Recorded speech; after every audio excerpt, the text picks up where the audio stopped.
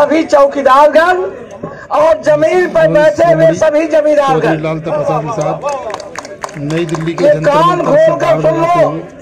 चौधरी लालता प्रसाद अभी तो हमारी जवानी पचासी वर्ष के उम्र में चल रही है। सीताराम निषाद पूर्व मंत्री मैं बुल्डानी जत्थे की भी अगुवाई कर सकता हूँ लेकिन आपसे कहना चाहता हूँ कि जो भला नहीं है 1977 भावों से सत्ता जातियों के लोगों सुनो। जो भला नहीं है भावों से है। जिसमें बहती रसधार नहीं वो हृदय नहीं है पत्थर है जिसमें स्वजाति का प्यार नहीं।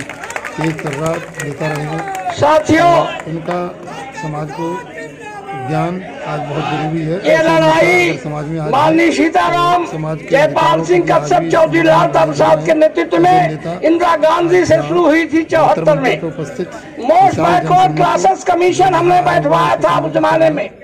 सफल नहीं हो पाया।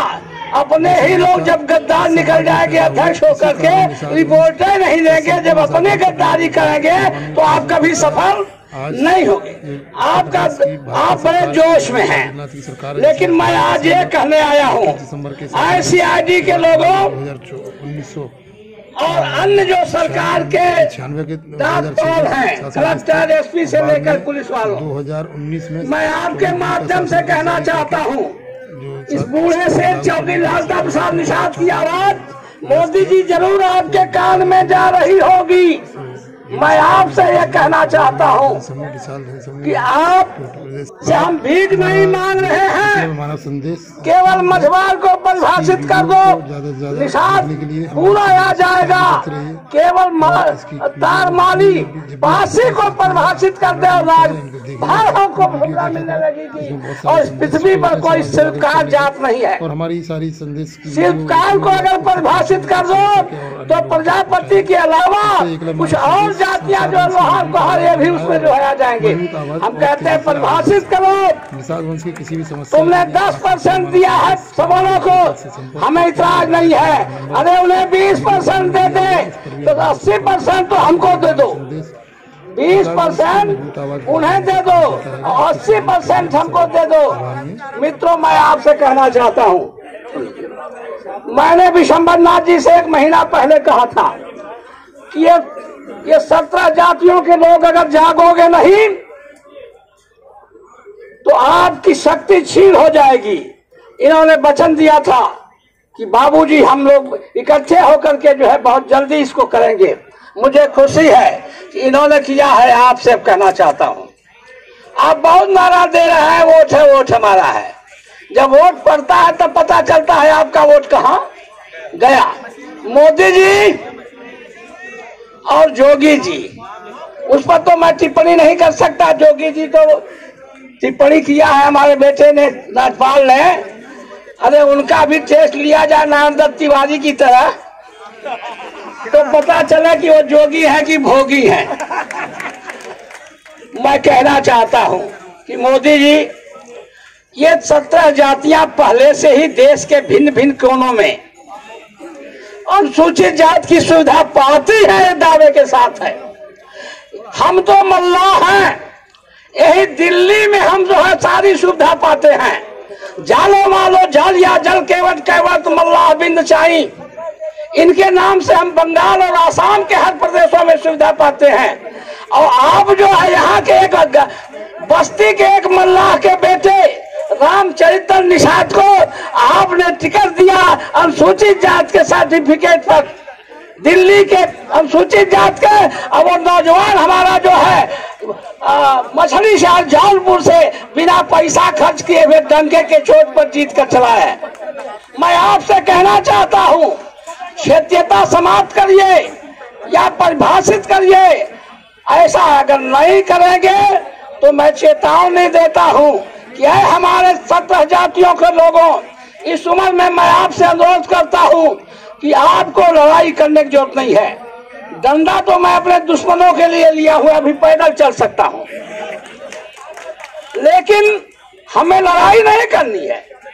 अरे यार जिसको चाहो उसे राजा बना दो जिसको चाहो उसको भिखारी बना दो।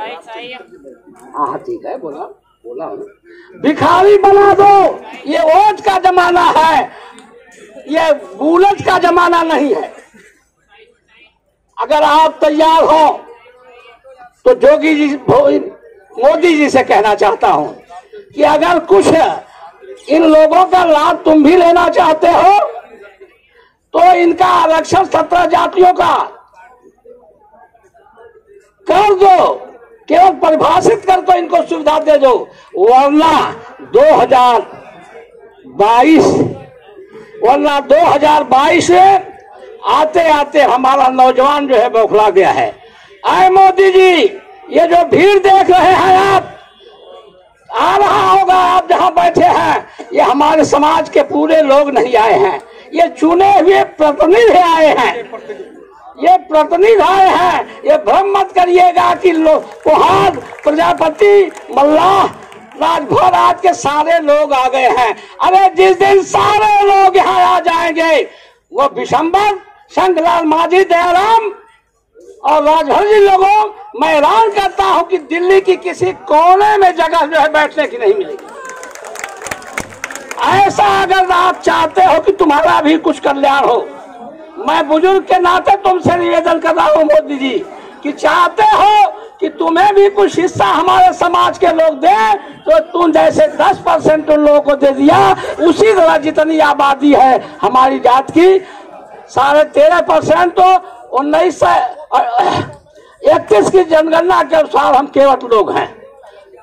और राजभर भाई हैं, प्रजापति भाई हैं, ये सब मिलाकर 25 परसेंट से कम नहीं होंगे, तुम 25 मत दो यार तुम 15 ही परसेंट हम लोगों को दे दो, हम तुम्हें बधाई देंगे। और नहीं तो तुम्हें जो है, ज़मीन से लेकर आकाश तक तुम्हारी निंदा करेंगे, और दो हज़ार बाईस में तुम्हें बता देंगे कि सत्तर जातियों का जो समूह है, तुम्हें एक वोट नहीं देगा।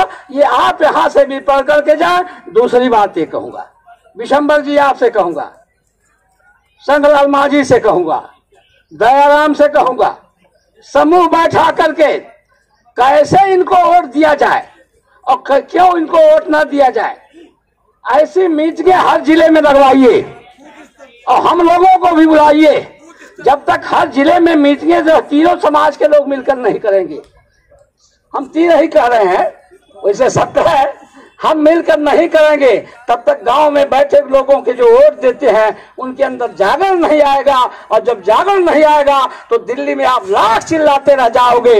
आपको जो है, आपकी बात नहीं मानी जाएगी, इसलिए गाँव में जो है आप मीटिंग ज़िले में करिए, हमको भी बुलाइए, राम रति भी जी अभी चल रहे हैं, इनको बुलाइए और सारे लोगों को समझाइए कि अगर मोदी कर देते हैं तो नरम पड़ जाइए, नहीं करते हैं तो इतना गर्म हो जाइए कि 2022 में ही पलटा पलट दीजिए, क्या नाम है उनका तथा और जब तक एक एक बात और ऐलान कर दूँ कि जब तक दिल्ली में आपके लोगों का हिस्सेदारी सरकार में नहीं होगी तब तक आप मर जाएँगे तक जाएँगे, लेकिन आपको आरक्षण नहीं मिलेगा। जब तक अखिलेश से लेकर हमारी भागीदारी अगर केंद्र सरकार में जिस दिन हो जाएगी, उसी दिन दावे के साथ कहता हूँ कि ये समस्या हल हो जाएगी। इन्हीं शब्दों के साथ मैं आपसे विदा लेता हूँ।